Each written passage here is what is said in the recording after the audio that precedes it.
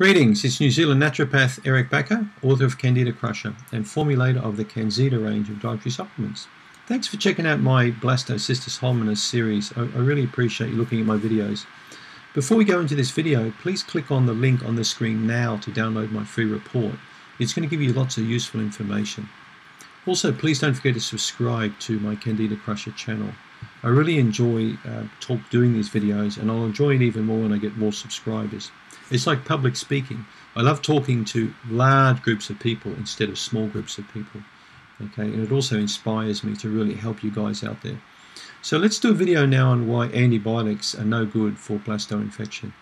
In fact, antibiotics are no good for most infections.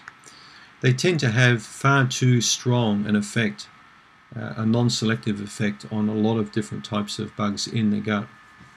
Before we go further, I'm just going to show you a couple of pictures here. So what can you see here? Have a good look at that slide there and tell me what you can see, okay? What does it look like? It's actually a picture of the Amazon rainforest. It's beautiful, isn't it? So what you can see in this picture, you can see trees, you can see foliage, you know, you can see lots of shrubs and you can see some vines there. But you know what you can't see in this picture? You can't see the jaguar or the anaconda, or the monkeys, or the spiders, or the ants, or the centipedes, or the butterflies, or all the other creatures that live in that environment. You can't see them. You can see green stuff, all right? But I bet you in that picture, if we analysed every organism in that picture, we'd find probably about a thousand organisms in that picture. It's just like in your gut. You've got about a thousand organisms in your gut right now, all right? Between 500 to a thousand, you've got a lot there. Now, what if we give you an antibiotic? What do you think we're going to do to the environment um, of the gut? Okay, so what we're going to do, um, actually, let me just put something behind there. What can you see now? You can see one tree there, okay? It's basically a wasteland. So we've just, what we've done, we've got a bit of napalm, we've just sprayed it around the rainforest, just a little bit of napalm here and there. All right, so that's what we've done. We've napalmed everything. What do you think that's done to your, your backyard or your rainforest? We've just wiped everything out. Well, that's what we're doing if we're going to give you metronidazole or some kind of antibiotic. We're going to wipe out a whole lot of stuff. We're just going to chuck nuclear waste everywhere. We're going to wipe it all out. Now, let's just say we sprayed some napalm in the rainforest, you know, uh, every three months. How long do you think it'll take for all the trees to grow back and all the bugs to grow back and everything? It may never grow back. It may take years to grow back. Lots of crap will come up in the first few months. You'll get lots of weeds and junk coming up. But what about the trees that have been there a thousand years? They'll never come back. Now, in your gut, if you're going to routinely take drugs to wipe out, you know, the bad guys, you're going to wipe out everything. Especially if you take something stupid like tetracycline for two years for acne. I mean, that's just stupidity. Imagine taking antibiotics daily for like two, three years to work on acne. You know, that's like flame throwing your yard every day, constantly, and then wondering why the hell you can't grow grass there. You know, it's just, I just can't believe how people can do this sort of stuff.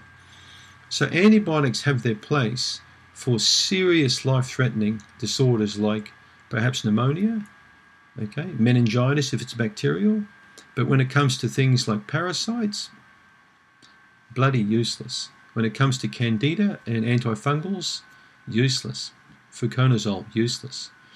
Most infections will respond naturally to taking a drug, but the problem is the peripheral or the collateral damage is far too great, far too great. So you're creating a huge disservice by napalming your gut. It's a dumb thing to do.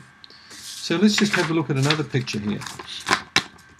So this is all the lovely uh, rod-shaped bacteria that you've got in your digestive system here, okay, before antibiotics. And now we've given you a round of antibiotics and we've got a couple of strains left. So a natural approach is going to be entirely different. A natural approach is going to be more selective of the bad stuff.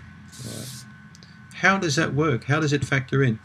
Well, when we look at different kinds of herbal medicines, garlic, neem, you know, many different kinds of herbs. These are not selective like antibiotics are. These haven't got a very narrow band of action. Right? They're not so powerful. They tend to really work in with the human body to a much greater level. Garlic has been around for thousands of years. Penicillin's only been around for about 100 years. Chemicals form no place, in my opinion, in the human body when it comes to, you know, building health. You can't create health when you're using an anti approach.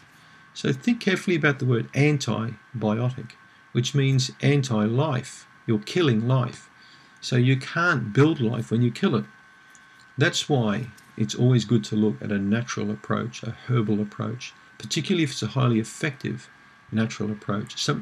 Particularly if you're going to use plants, you know, roots, seeds, you know, things like that that have been used for hundreds, if not thousands of years and proven themselves time and again to work. The beneficial bacteria don't get nuked or nailed when you're using garlic. Uh, in fact, garlic is a prebiotic. Garlic contains a sugar in it that builds beneficial bacteria. So you're not going to really adversely affect it. Now, drug companies don't want you to know this sort of information. They'll turn around and tell you that herbs are poisonous, they're toxic, they kill you, they're unproven, all this sort of garbage, you know. Of course they're going to say that. They're going to say that because they make trillions and trillions of dollars out of human suffering. I've worked in natural healthcare now for nearly 30 years and I've never seen anything good come out of antibiotics. In all the tens of thousands of people I've seen, I don't think I've seen anyone who's come back to me who said, Wow, you know what? I feel great after that round of antibiotics. I feel amazing. No one's ever said that. But I've had many patients tell me how amazing they feel after natural treatment. So when you look at natural treatment, particularly for things like yeast infection, check out my CanXida range. CanXida with an X. CanXida Remove and CanXida Restore. These products are going to go to town on the bad bacteria and the parasites. They're going to be highly effective and they're not going to napalm your gut. I can guarantee you that. And I know that from looking at studies of before and after doing stool tests with patients, pre treatment and post treatment. And I've seen the lactobacillus species stay the same, if not increase, but the parasites go right down. I've never seen that happen with antibiotics. I always see the beneficial bacteria go down. So that's why antibiotic treatment is not effective because you do too much collateral damage. And you really don't want to go, you know, when we look back at these pictures,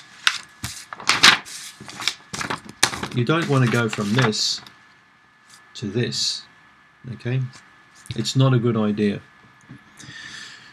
So you have a think about it. It's your call. You can either use chemical drugs as an antibiotic or anti-life, or you can use a natural treatment, which is going to be more conducive to building up the beneficial bacteria. Don't forget to subscribe to my channel, and thanks for tuning in.